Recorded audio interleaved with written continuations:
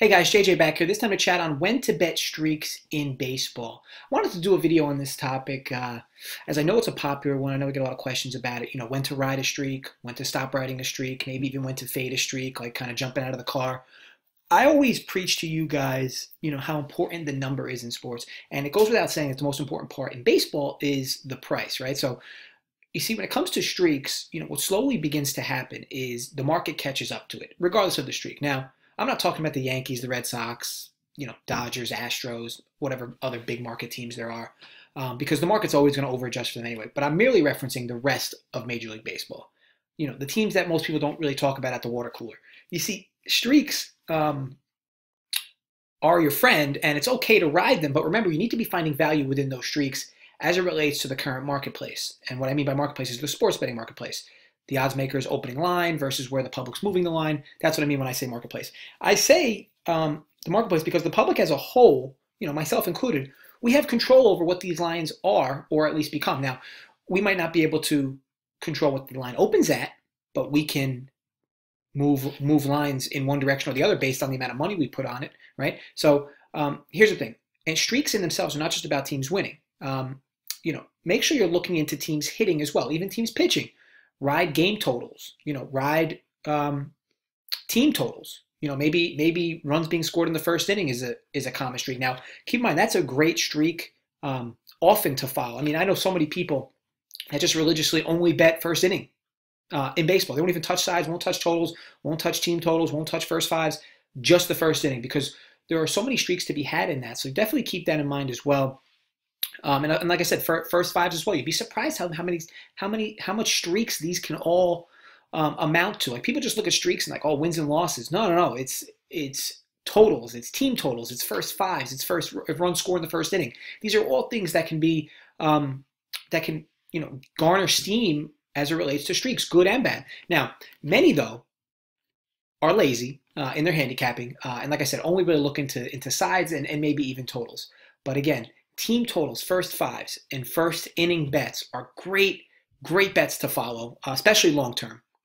Now, what to look for in a streak, and it's a few things. It's a little more complicated than what I'm about to tell you, but I wanted to give you a head start.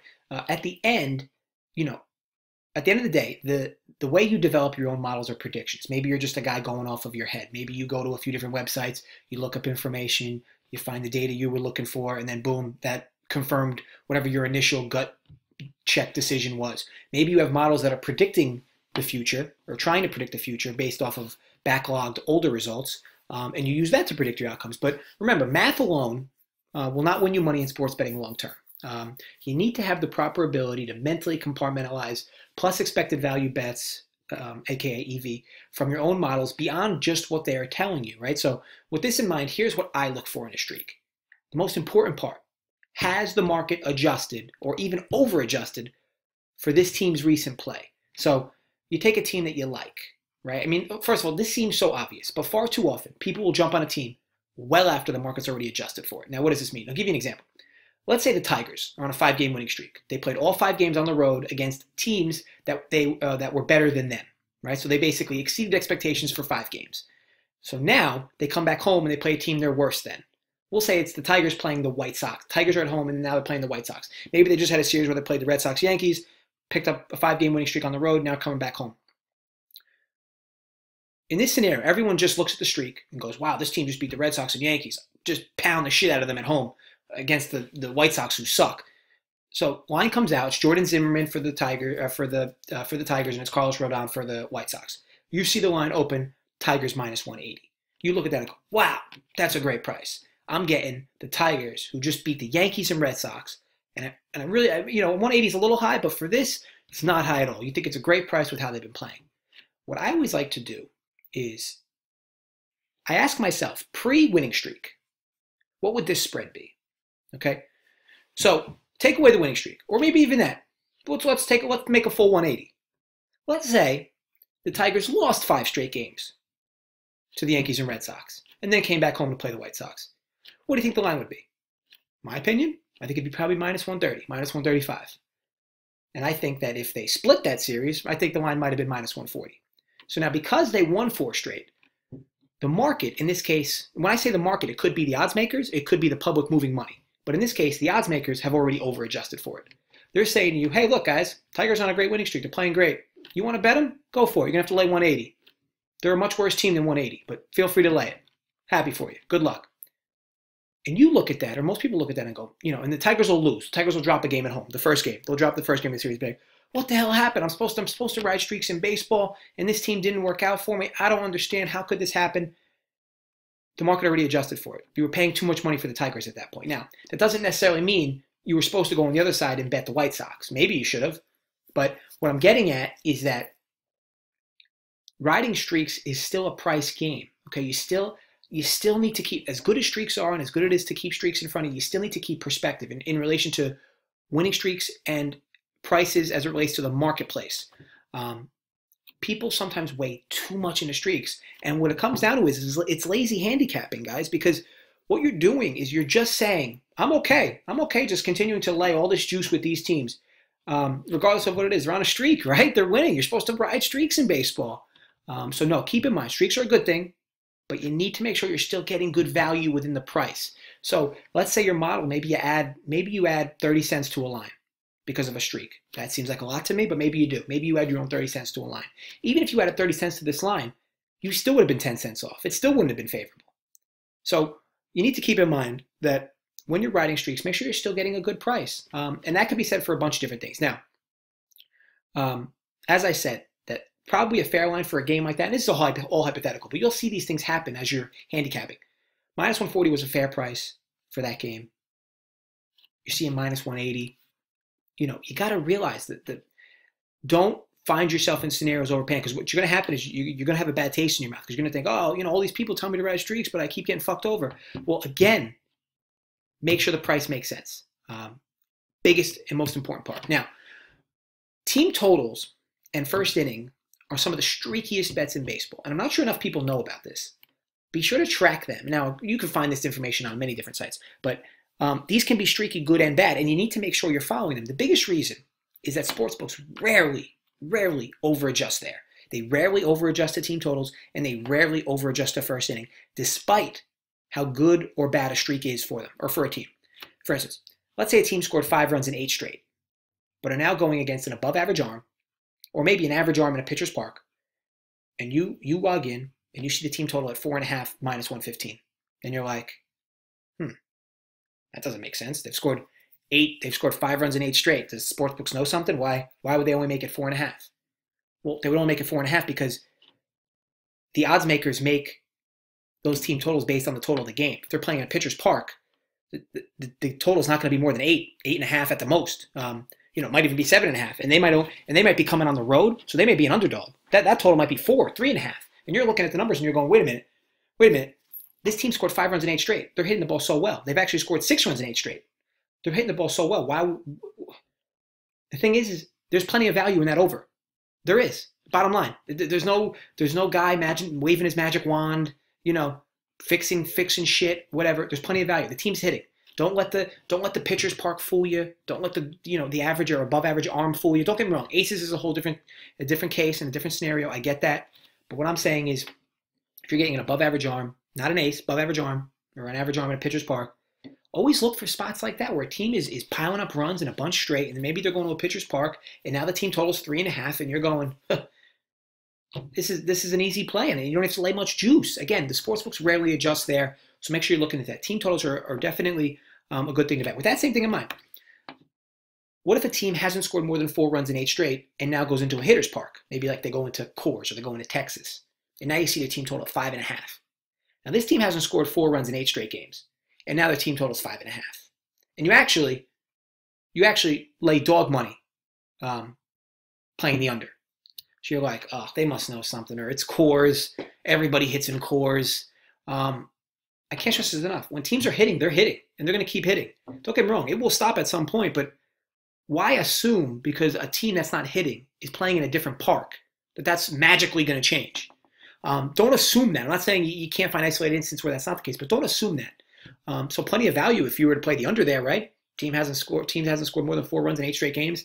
Now they're going to Texas or Coors Field, maybe even Cincinnati, and it's like, oh, you know, now it's five and a half or five team total eh, you know what? I'm going to stay away from it. Seems a little seems a little sketchy. It's not. It's not sketchy. Team's not hitting. Team's not hitting they're going to a hitter's park. So the, the sports books are always going to make those totals four and a half, five for their team totals, regardless. They go to Coors, you're not going to see a team total less than four and a half at Coors. So just keep that in mind. Use that, you know, keep that in your back pocket because it can be very valuable to you, uh, especially long term. Now, with regards to a run being scored in the first inning, sports books heavily weigh this line into the starting pitcher, the field that the game's being played at, and of course the top of the batting order. But boy, can this be a streaky bet, good, good and bad. If you don't believe me, take a look at the Rockies and Giants, who I believe as of this recording in 2019 of this of the MLB season, they have not scored a run in the first inning in a combined 33 straight games between the two of them. Um, there are plenty of teams who also score a run in the first inning in plenty of games straight. Maybe plenty of pitchers give up runs in the first inning, and you'll see how streaky it is. Like, like maybe a pitcher like, like I know Zack Greinke's given up a run like in 12 straight games before today. I, am not sure what the specifics were for him today, but you know, you'll notice it's not even just the pitcher. Sometimes it's it's the, the opposite team will get them a run, and it, and you might look at it and go, oh, well, that's just variance. Like, no, no, no, the, the shit's streaky. Don't don't kid yourself. There is there are plenty of streaks to be had within betting first inning run or no run. Um, now, sometimes um, the perfect storm happens with first inning bets. You'll have a team, or maybe even a pitcher, whatever, scored a run, or a run was scored in a game they pitched in nine straight games. And they're playing a team. Maybe it's a pitcher. We'll give you that. We'll give you an example. Maybe it's a pitcher. We'll take Zack Greinke. Maybe it's a pitcher, Zack Greinke, who a run has been scored in the first inning that he has played in, whether it was for the away team or home team, whatever, in 12 straight games. Now he's playing a team that themselves have scored a run in seven, maybe seven straight games. They've scored a run in the first inning. You see the total. Total opens up. Will there be a run scored in the first inning? Minus 115. And you're like, what the fuck? How? How is only minus one? How do I only have to lay juice of minus 115 VIG? And you look at and you look at it and you're like, oh, well, okay, so it's Greinke at home. We're going up against, you know, um, I can't think of a, of a picture off the top of my head that would be relevant to the perfect scenario. Oh, you know what? Zack Wheeler. Zack Wheeler would be a good scenario. So you Zack Wheeler and the total for the game is eight and a half. So will there be a run scored in the first inning? Minus 115 and minus 125. And you're like, this doesn't make any sense. The, the Mets have scored a run in the first inning in seven straight. Greinke's given there's been a run scored in Greinke's game. Uh, you know what? Seems a little sketchy. Going to stay away from it. No, those are the spots you want to target. Yes, there will be a run scored in the first inning. It is a streaky bet, and you have two streaks colliding with one another. Pound that shit over. Yes, there will be a run scored in the first inning. And with that same way, you know, you got the you got the Rockies and the Giants right now struggling to score a run in the first inning. Why on God's earth would people want to bet? First of all, would want to bet their games over? None of those, neither of those teams are scoring, and I don't care who the pitchers are. Like, this is what I get back to. This is what I know I'm going on a tangent here, a bit, but this is what's so frustrating me because I see this all the time. Teams that aren't hitting, they'll look at a game like a total come out to be seven, be two shit pitchers. Somebody will look at the game, what I would consider a naive sports bettor. Look at the line and be like, ah, Seven? What? It's Marquez versus Derek uh, Holland? You kidding me? These pitchers suck. Pound this over. Both these teams aren't scoring. Like on what on what planet would that be a favorable bet? These teams are not scoring runs. And of course, the game ends. I saw today. Game ended four nothing, and Marquez almost threw a no hitter. These teams aren't hitting. Why would you be foolish enough to bet an over like that? And the same thing goes for the first inning. That's why, of course, there wasn't a run scored in the first inning.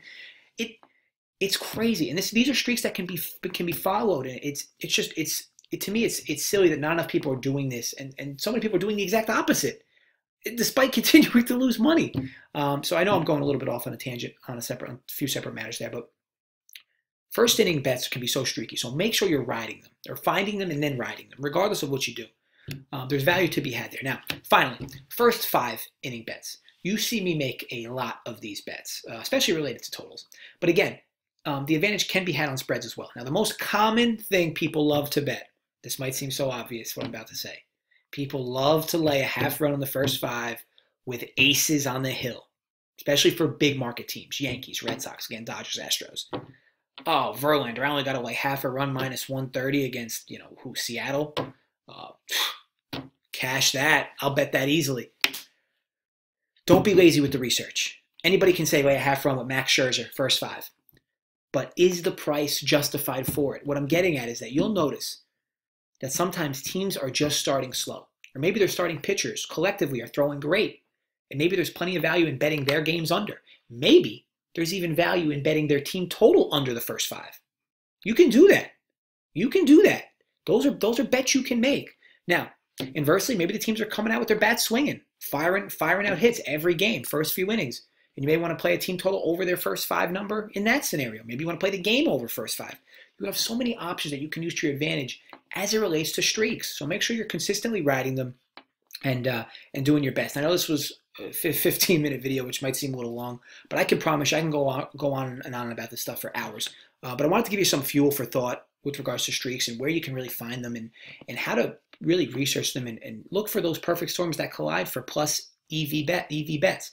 The goal is for everyone on here to improve handicapping. Okay, I'll do more of these types of videos, you know, during the season as I as I know you'll find these helpful. So I'm going to do more of them as the season goes on. Any questions you have, feel free to drop them below. I'll be happy to respond. Um, I want to thank you guys for watching. Please subscribe if you are not already. Always trying to give you that helpful content. If you enjoyed the video, give it a thumbs up. And again, always trying to provide you guys with good quality content, make you guys better as sports bettors. I don't care. I mean, I could keep giving you, you know, favorable bets, but for me, it's it's all about making you guys better, improving the way you guys handicap games, approach games, your process. Um, so that's that's my ultimate goal. I want to thank you guys again for watching. Again, if you like the video, please give it a thumbs up. Drop a comment below. Please subscribe if you are not already, and uh, I will certainly be back soon.